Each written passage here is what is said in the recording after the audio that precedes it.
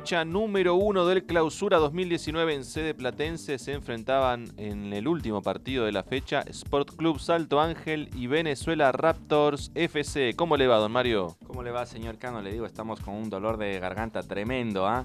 Acá vemos a los muchachos listos en el protocolo.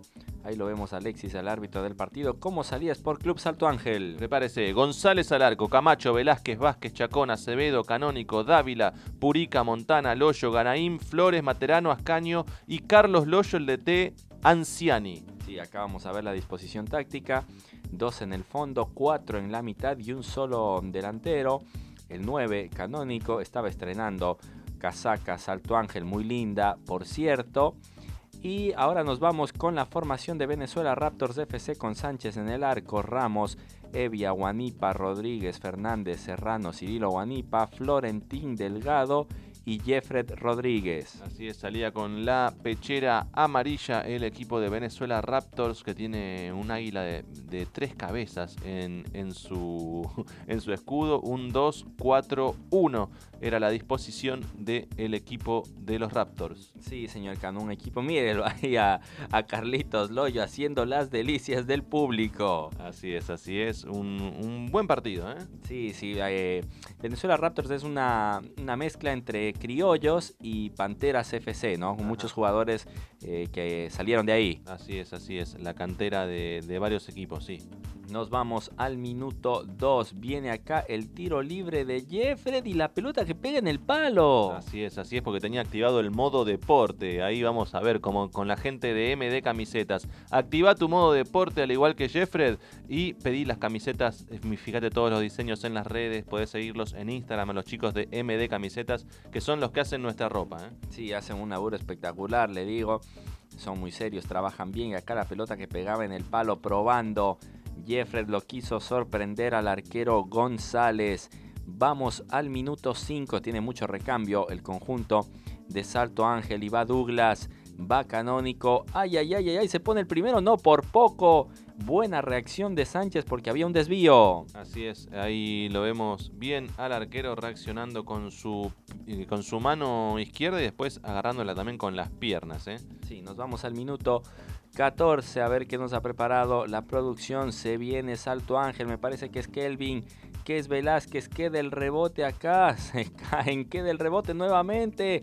Sigue la jugada y salva bien el arquero Sánchez. Usted se ríe, pobre, se cae ahí. Velázquez creo que era el que se caía o otro jugador y usted se mata de risa. Qué, qué vergüenza lo suyo. ¿eh? No me diga eso, señor Cano. Nos vamos al minuto 15.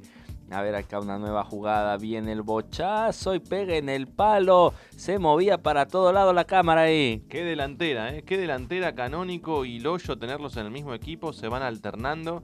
Y bueno, Canónico no pudo marcar goles, si no me equivoco, pero vea esta, ¿eh? siempre muy peligroso el Felipe Melo de Salto Ángel. Y yo un desastre en cámara. La pelota que pega en el palo, le digo.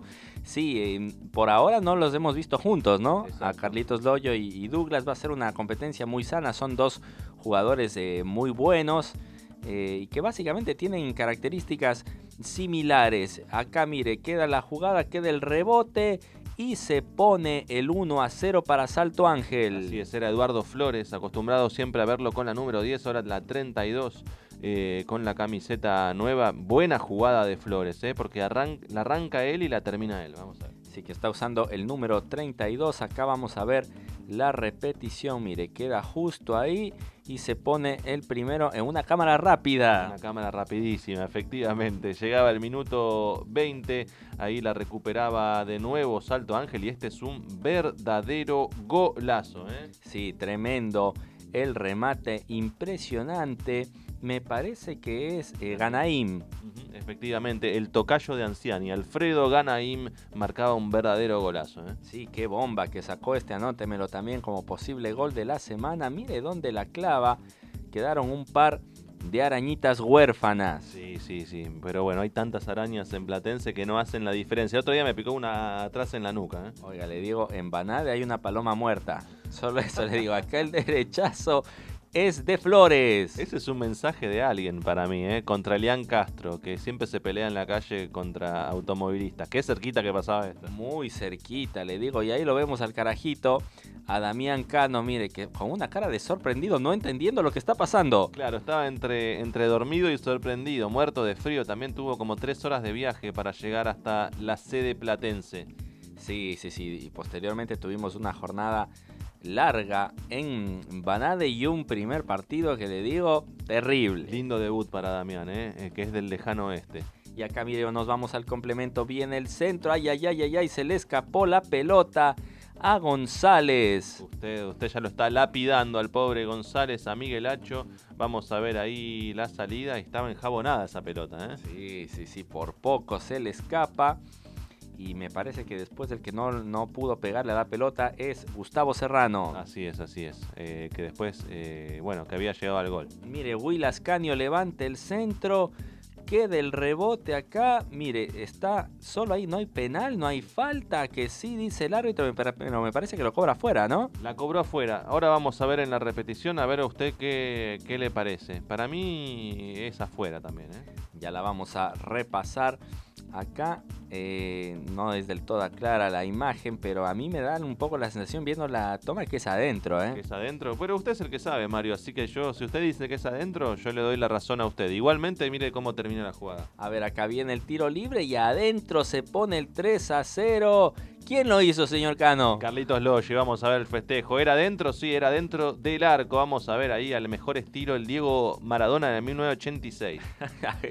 es un personaje, Carlitos Loyo, con peluca incluida para festejar el 3 a 0, la bomba que sacó, nada pudo hacer el arquero Sánchez. Sí, un personaje muy querido por todos, Carlos Loyo, además de ser un gran jugador, que es además quien apodó como carajito a Damián, a Damián Cano. Y el último goleador del torneo también. Claro, tal cual, tal cual. Y nos salvó un trípode, también hizo de todo. y acá, mire, sigue la jugada, siga, siga, dice el juez reclaman una falta y se pone el 4 a 0. No se entendió muy bien ahí la jugada. La verdad yo por lo menos me quedé eh, primero con el jugador, después al final terminó siendo el gol, lo convalidó. Y bueno, ¿usted entendió algo? Dios, me parece que la ley de, de la ventaja, la verdad, se ponía el 4 a 0.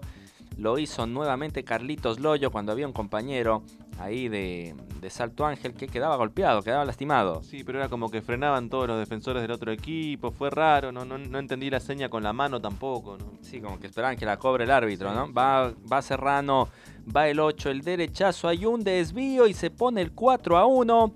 El árbitro, sin embargo, le dio el gol a Serrano. Ah, se lo dio a Serrano, sí, porque creo que rebotaba en Javier Dávila, el número 17. Ahí lo vemos a Serrano en primerísimo primer plano. Eh, y veíamos el gol. Sí, sí, le pegaba la pelota ahí al defensor y descontaba. Mire esta jugada, señor Cano, el Tribunal de Disciplina ha decidido darle una fecha de suspensión a Florentín porque está pegando una patada sin pelota. Exactamente, ahí se ve eh, clarito, clarito el, gesto. El árbitro decía amonestarlo, pero el tribunal de disciplina tiene la potestad de, de, expulsarlo por de oficio. Nos vamos al minuto 21. Viene el centro de Will. Queda la pelota, el remate, el zurdazo y otra vez la termina desviando Carlitos Loyo. Ahí vamos a ver de nuevo. la cámara se quedaba con otro jugador pero bueno, ahí está. Es Loyo el que termina empujándola o rebota en él. Sí, sí, él la termina metiendo. Qué delantero, Carlitos Loyo se ríe. El goleador que juega con el 99. Sí, ¿por qué será, eh? ¿Por qué será? Con la 99 como la gente 99 de, de la gente 86, justamente. Le digo, es el número que le encanta a nuestro compañero el Cascarrabias Castro. Nos vamos al minuto 22, serán los últimos instantes del partido. Sale Salto Ángel rapidísimo, jugando desde atrás. A ver acá la gambeta, perfecto, viene el centro y la terminan empujando para poner el 6 a 1 definitivo. Así es, terminaba ahí eh, cerrando José Montana con su gol el resultado que iba a ser el definitivo, como bien decía usted, Mario. ¿Cómo está de la garganta? Más o menos, le digo, señor Cano, arrancó muy bien. Eh, Salto Ángel, seguramente Venezuela Raptor se irá, se irá acomodando en el camino porque tiene muy buenos jugadores y van a levantar los chicos porque hay materia para hacerlo. Así es, efectivamente. No había tiempo para más. ganó Sport Club Salto Ángel 6 a 1 ante Venezuela Raptors. Y ahora escuchamos a los protagonistas del partido. Uy, un poquito trabajo, pero como todo se va abriendo, obviamente venimos entrenando mucho toda esta semana, la semana pasada, que bueno, el equipo se mostró hoy, pues abrió el marcador. ¿Cómo, ¿Cómo lo ves al equipo para lo que viene? ¿Tienen ilusión del título? Largas cosas, largas cosas. Como título, como tal, bueno, lo importante, lo principal es pasar la primera ronda, después ya se verá. Este, espero que todos los compañeros que hoy me acompañan, espero podamos jugar mejor. ¿Qué tal Anciani como DT? Bueno, bueno, bueno. Bueno, Anciani, tremendo director técnico, gran persona, gran amigo hace muchos años, obviamente. Este, estamos bien actualmente. ¿Y la peluca, el festejo, por qué? Eh, la peluca, bueno, se debe a que, bueno, tengo muchos años sin cabello, no, no sabía cómo, cómo sentirse con cabello, ¿no? Pero bueno, por eso me la puse, más que todo por eso. Bueno, un poco fluido al principio, ya sabemos un experimento nuevo, estamos generando juegos con jugadores conocidos, pero igual, o sea, es prácticamente como empezar desde el principio. Este, nada, intentar mejorar y crear más jugadas. El equipo como tal, como todo proyecto que se empieza de nuevo, hay que buscar jugadas nuevas, jugadores que se posicionen igual y que se adapten al equipo.